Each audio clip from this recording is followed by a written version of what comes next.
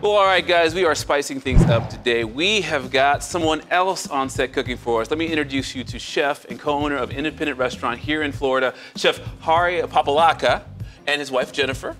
We also have uh, community kitchen director for the Second Harvest Food Bank of Central Florida, uh, and executive chef, uh, Miss Viola Dawn Viola. Uh, how you guys doing this morning? Good morning, Charles. Good, Good morning. to see you. Thanks for joining us. Thank so you for uh, let's us. get straight to cooking. What are you going to cook for us today? Well, I'm starting a new trend, hopefully in North America. We're gonna have escargot for breakfast. Oh, So, all right. uh, And you escargot know, is- is escargot snail. is snails. Okay. Uh, these are not wild snails. These are farm snails from a beautiful source in Asia. Okay. So I've started here with clarified butter. Uh-huh. You know, butter that's been cooked down until the milk solids separated. We clarify. Smells Hence the wonderful smoking point. I can do this.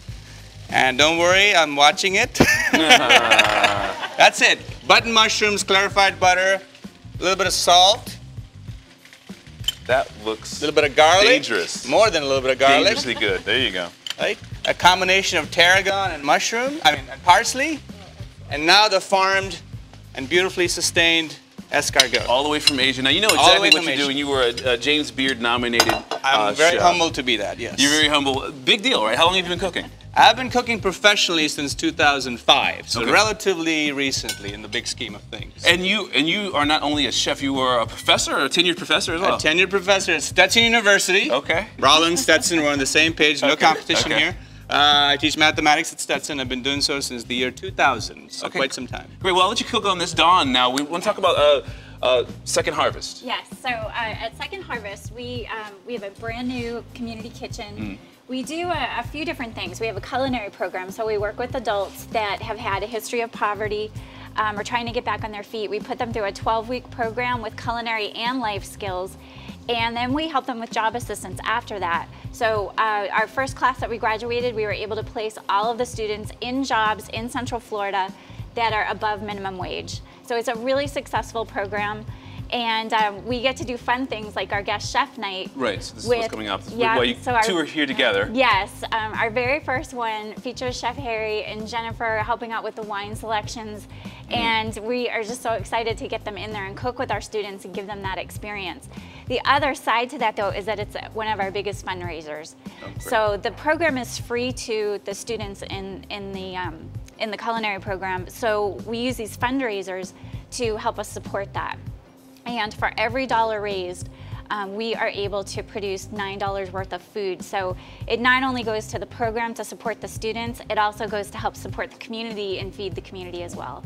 Cooking for good. You guys are. This is the first time you guys are involved with this. Uh, With this For particular, this one, yeah. it's So you for guys our are- anniversary. Oh, yeah, it's awesome. our five-year anniversary. It's their inaugural dinner. Yeah, we're really so excited. Alright. It's two the big launch of their community kitchen. Mm -hmm. So we're really excited about that. great. So are the uh, escargot going to be on the menu or no? It's on the menu. Maybe not. Maybe it could be. We have could be. something called amuse bouche, which I have not created yet. Okay. Okay. So And that, it could be that. We'll see how this is received today. You know. Okay. This is done. Believe it or not. Oh, it's done. I So- got some nice crusty bread. All right, so we can have bread. at it. So this is how you serve This is uh, how you typically snails, serve a in case you guys at home don't know. And nice Uh, squeeze of fresh lemon at the very end to brighten up the dish. That is nothing but butter, garlic, mushrooms, and snails. Clarified butter. Well, clarify. Let me, let me clarify. clarify the butter. Let's clarify the butter. It's a whole lot of butter.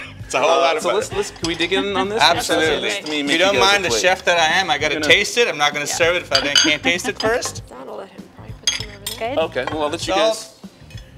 Jennifer here is the uh, master server. Yes, All right. Here we go. So I don't always make a mess. So of take a little like bread. this. So you're saying uh, That's it.